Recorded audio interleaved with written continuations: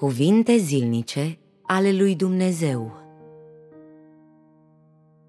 Trupul omului a fost corupt de satana și orbit în cel mai puternic mod cu putință și vătămat profund.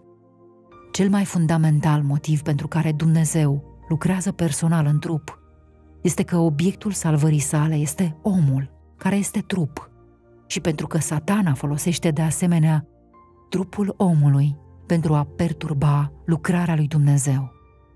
Lupta cu satana este, de fapt, lucrarea de a-l cuceri pe om. Și, în același timp, omul este și obiectul salvării lui Dumnezeu. În acest mod, lucrarea lui Dumnezeu întrupat este esențială. Satana a corupt trupul omului, iar omul a devenit întruchiparea satanei și obiectul care trebuie învins de Dumnezeu. În acest mod, lucrarea de a lupta cu satana și de a salva omenirea se desfășoară pe pământ, iar Dumnezeu trebuie să devină uman pentru a lupta cu satana. Această lucrare are caracterul cel mai practic posibil. Când Dumnezeu lucrează în trup, El duce de fapt o luptă cu satana în trup. Când El lucrează în trup, El își face lucrarea sa în domeniul spiritual și își întinde toată lucrarea sa pe tărâmul spiritual real, pe pământ. Cel care este cucerit este omul care este neascultător față de el. Cel care este învins este întruchiparea lui satana, care este în vrăjmășie cu el, iar cel care este în cele din urmă mântuit este de asemenea om. În acest fel, este chiar mai necesar ca el să devină un om care are învelișul exterior al unei creaturi, astfel încât el să poată duce o adevărată bătălie cu satana, cucerind omul care este neascultător față de el și înzestrat cu același înveliș exterior ca și el, și salvând omul care este din același înveliș exterior ca el și a fost rănit de satana. Dușmanul său este omul. Obiectul cuceririi sale este omul, iar obiectul mântuirii sale este omul care a fost creat de el. Deci, el trebuie să devină om și astfel lucrarea sa devine mult mai ușoară. El este capabil să învingă pe satana și să cucerească omenirea și în plus este capabil să salveze omenirea. Deși acest trup este normal și real, el nu este un trup obișnuit.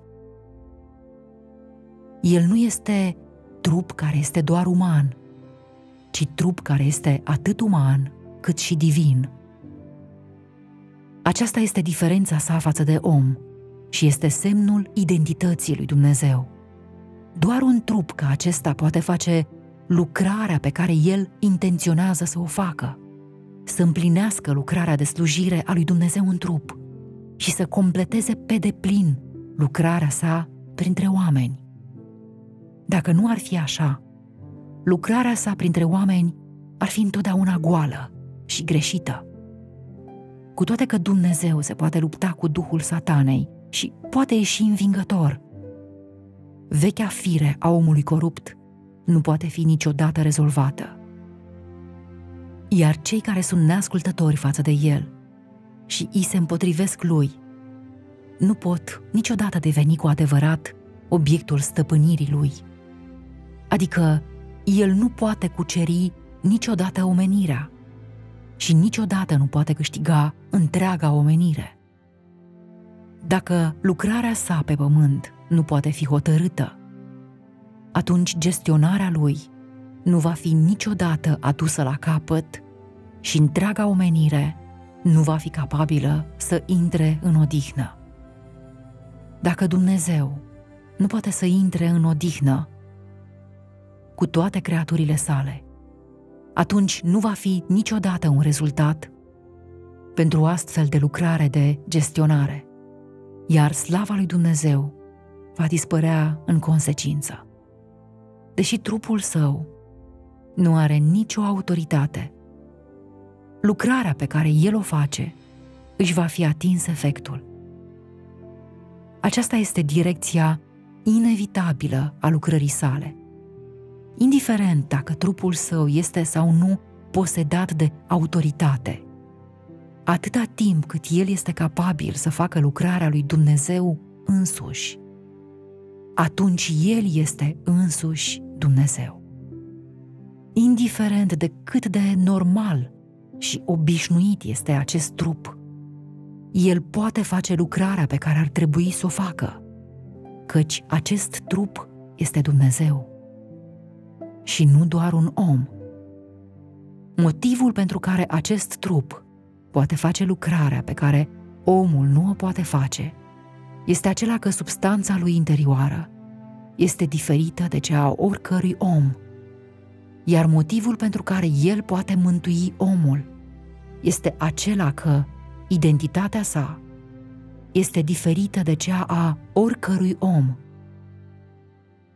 Acest trup este atât de important pentru omenire, pentru că el este om și chiar mai mult Dumnezeu, pentru că el poate face lucrarea pe care niciun om obișnuit cu trup nu o poate face și pentru că el poate mântui omul corupt care locuiește împreună cu el pe pământ.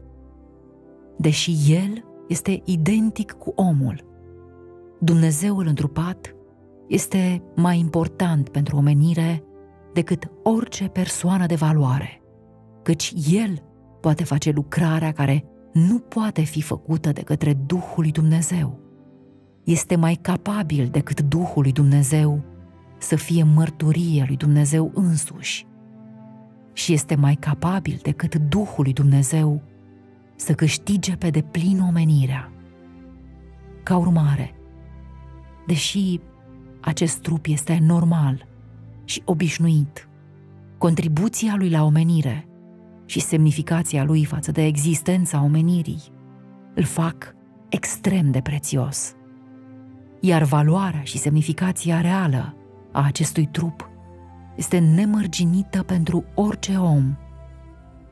Deși acest trup nu îl poate distruge în mod direct pe satana, el poate folosi lucrarea sa pentru a cuceri omenirea, a-l învinge pe satana și a-l face să se supună pe deplin stăpânirii sale. Deoarece Dumnezeu este întrupat, el îl poate învinge pe satana și poate mântui omenirea. El nu îl distruge în mod direct pe satana, ci devine trup pentru a face lucrarea de cucerire a omenirii, care a fost coruptă de satana. În felul acesta, el este mai în măsură să fie mărturie lui însuși în rândul creaturilor și este mai în măsură să mântuiască omul corupt. Înfrângerea lui satana de către Dumnezeu întrupat este o mărturie mai mare și este mai convingătoare decât distrugerea directă a satanei de către Duhul lui Dumnezeu. Dumnezeu în trup este mai în măsură să-l ajute pe om să-l cunoască pe Creator și este mai în măsură să fie mărturie lui însuși în rândul creaturilor.